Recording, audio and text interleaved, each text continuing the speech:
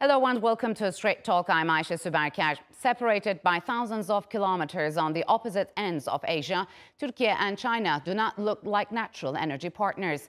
Both being net importers of oil and gas, the areas where they could cooperate on fossil fuels seem minimal. But when it comes to renewable energy and the rare earth minerals that power modern industries, the areas for cooperation are starting to show. That potential was on full display during Turkey's Minister of Energy and Natural Resources, Alparslan Bayraktar's visit to Beijing. Bayraktar cut a preliminary deal on what officials are dubbing energy transition. One of the most promising areas includes cooperation on nuclear power and renewables. Currently, Turkey is constructing the Akkuyu nuclear plant with the help of Russia. But Ankara has plans to build two more, and a Chinese company is in the running to build a nuclear plant in Turkey's Thrace region. Another crucial area the two sides touched on was rare earth minerals. Two years ago, Ankara announced the discovery of the world's second largest rare earth reserves, second only to China. And to discuss the potential for energy cooperation between Turkey and China, joining me now from Istanbul is Taha Meli Arvas. He is the CEO of Energy Exchange Istanbul. And from Beijing, Einar Tangen. He's a political and economic affairs analyst. Gentlemen, welcome to Strait Talk. It's good to have you on the program. So, Einar, when you look at the two countries, they don't seem like natural energy partners. They're thousands of kilometers apart, and both want to tap the uh, energy-rich countries uh, in Central Asia, but send that energy in opposite directions. So the question is, which areas can they cooperate when it comes to energy? Well, China has all the technology and the equipment in order to extract. They have uh, all the piping and things like this uh, to get it going both ways. I mean, China's uh, whole foreign policy is based on this idea of a shared future. So that means that uh, they are willing to do things uh, that would not necessarily happen uh, if other countries were involved. They really do believe that peace comes through trade and so, you know, you could expect more of this, not only with Turkey, but any other country that wants to be part of the Belt and Road and wants to improve the future for its people. Mm. So, Taha, what are the shared interests uh, of Turkey and China when it comes to our cooperation on renewable energy, and how much uh, potential is there, you think? I think there's a lot of potential. Uh, Turkey is a market that I think is is great for uh, both China, uh, the private sector and public sector in China. Uh, Turkey has a ever increasing appetite for energy, unlike many other European countries that are either stagnant or slowing down. Uh, so not, not only is it, is it a good market, but also it's it's a uh, uh it's part of the uh, the belt the the road and uh, belt initiative, and it's a, a, crossroads for both Asia and, and Turkey, and as a result, will help both deliver energy um, uh, that's produced in Turkey to other markets, as well as for uh, Turkey's own consumption within the country. So, so negotiations between Ankara and Beijing have been ongoing uh, uh, for the construction of a nuclear power plant in the northwestern region uh, of Turkey, the Thrace. So uh, how close are both countries to reaching a deal on that matter? And if signed, what impact would that have on both country relations? Well, I, I don't know ex the exact details of how it is, but I mean, China doesn't go into things frivolously. They don't uh, put out frameworks. Uh, they tend to concentrate on the main uh, idea. Uh, obviously, it's something in terms of a renewable uh, energy, or at least a much cheaper energy, um, much cleaner. Uh, and this is something that you know China and Turkey both need. I mean, China has uh, the most number of nuclear reactors um, being built, as built, used. Uh, they have an internal consumption figure around 5% of their total energy needs. Uh, and Turkey can benefit from that. They have mm. a 3.5 uh, reactor, which is uh, very, very quick, very efficient, and a lot less dangerous than the old ones like in Fukushima and things like that.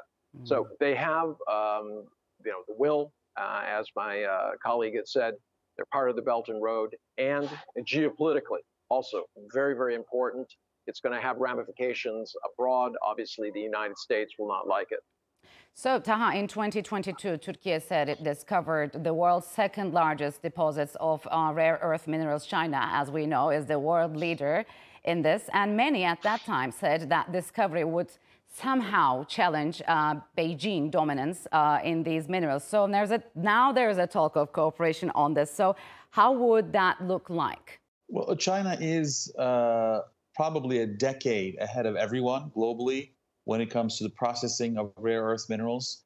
Um, this is something that's you know not very uh, not not a secret. Even the F-35 fighter jet um, uh, that the United States is producing uses uh, minerals that are from China because of this ability, this capability rather, uh, to process uh, rare earths. So um, in that in that respect, it's important for countries that need that want to expand their use of renewables um, with the use of these rare earth minerals to work with China. I think this is a uh, this is a technology that China has so far been, in fact, recently um, uh, hesitant to, to, share, frankly. Mm-hmm. But I think the time has come for it to uh, bring other countries uh, up to speed um, so that it can uh, cooperate with them and it can enjoy uh, the fruits of these discoveries. So, Einar, what do you think? I mean, considering how costly and technically refining rare earth me- metals are, would China, as um, Taha mentioned, be willing to share that know-how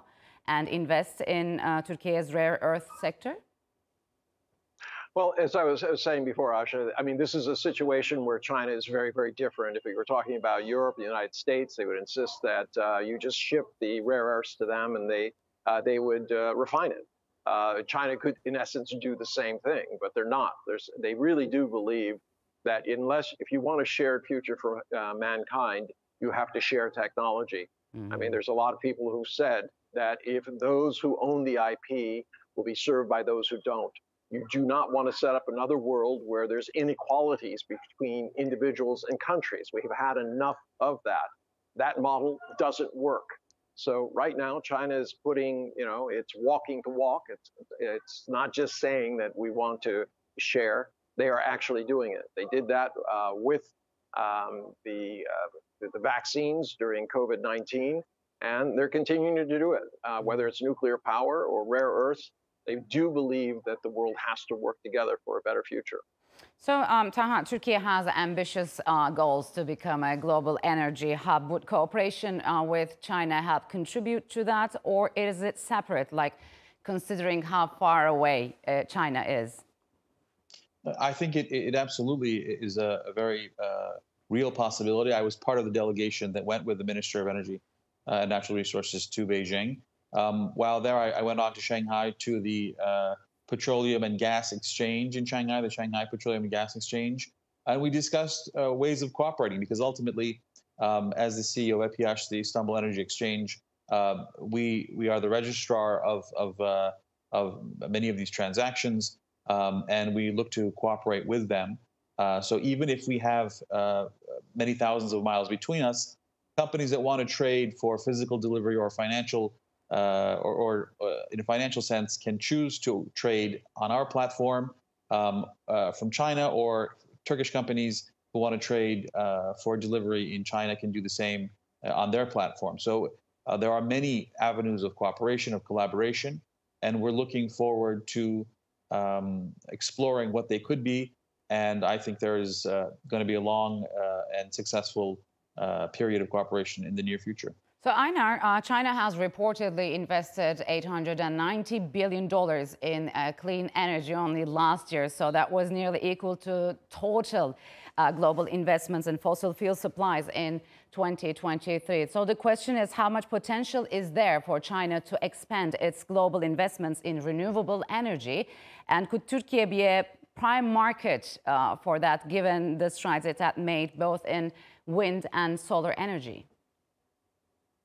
Well, uh, China is far ahead of anyone in the world in terms of mass production. I mean, they, the, the cost factor is there. Uh, the, uh, China can produce at much less cost. Uh, and this is worrying uh, the developed world who insists that people should uh, be willing to pay more to transition to a green energy source, despite the fact that they, you know, they're the ones who are always saying that we need to transition as soon and as quickly and as cheaply as possible. So there's a double standard there.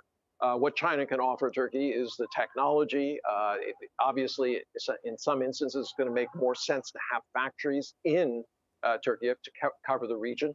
Uh, but that will be a lot of that will be up to private enterprises uh, and it, just how attractive the uh, the market is. Obviously, Turkey has plenty of labor. Um, it's situated in a key area.